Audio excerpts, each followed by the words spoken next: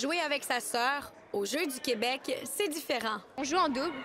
Puis la dynamique euh, sœur-sœur, je pense ça aide vraiment beaucoup parce qu'on est, on est fusionnels. Puis euh, quand, quand on, peut sentir que l'autre OK, est moins en confiance, donc moi, il faut que j'embarque un peu plus ou des encouragements et tout. Je pense que en double, on est vraiment forte là-dessus. Zoé et Jasmine Patry s'entraînent ensemble depuis quatre ans déjà.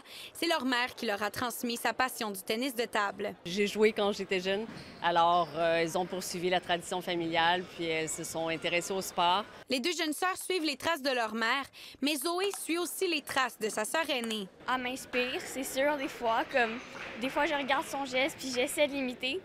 Ça veut pas dire que j'ai réussi, mais j'essaie. Les deux cadets chez les Richards ont aussi suivi les traces de leur frère aîné. J'ai suivi Tom, c'est comme ça que j'ai commencé à embarquer. Puis toi, Zach, c'est comment que tu as commencé à faire ce sport-là? Ben moi, je suis venue à un entraînement de mon frère, puis j'ai vraiment adoré. Tom est atteint de paralysie cérébrale. Ça ne l'empêche pas de pratiquer son sport. Il en est même à ses deuxièmes Jeux du Québec. C'est une, une, une preuve d'éduc euh, qui a annoncé ça sur Internet. Euh, d'essayer de, de faire le basket en, en fauteuil roulant.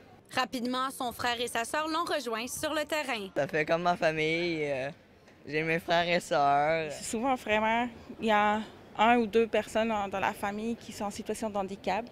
Et frères et sœurs s'entraînent car il y a très très peu de sports où c'est vraiment aussi inclusif que les personnes handicapées et non handicapées peuvent jouer ensemble, pratiquer ça ensemble. Pratiquer son sport favori en famille rend l'expérience encore plus enrichissante. Zoé et moi, on élève notre niveau euh, chacune. Autant les patries que les Richards ont une dynamique familiale changée, leur passion partagée a resserré leurs liens fraternels et les amène à mieux performer. Annick Berger, TVA Nouvelle, Sherbrooke.